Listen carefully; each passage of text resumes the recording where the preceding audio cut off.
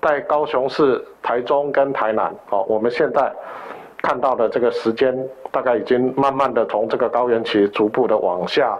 走的一个趋势，所以在这一周哦，应该就是逐步的在啊病例数或者是在流行的状况，应该会啊啊稍缓。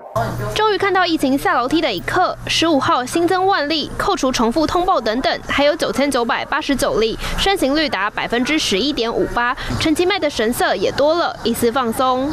大概现在我们的病床的空床数。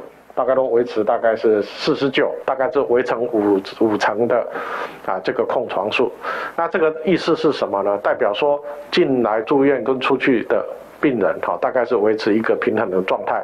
但工位专长的陈其迈掌握疫情游刃有余，公安状况其实让他很头大。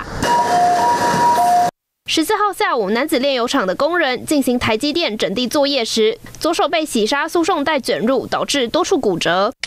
十五号小港区这处工地发生工人从近二米高楼坠落，背部直接被两个钢筋刺穿。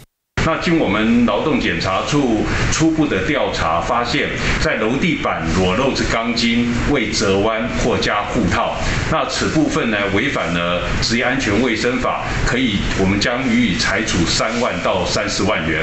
公安问题层出不穷，遭到蓝营议员开炮呛虾。政府这么样的不重视劳工朋友他们在工地或是工厂上面的这样的一个安全，如果政府没有决心去做改善的话，要想一想，每一位劳工朋友背后都代表着一个家庭。你们只是便宜行事，罔顾高雄市民的性命。所幸两起公安事故都没造成生命危险，只是疫情还处在高原期，市长只能蜡烛两头烧。欢迎新闻林伟凯、林伟旭、刘佩婷高雄报道。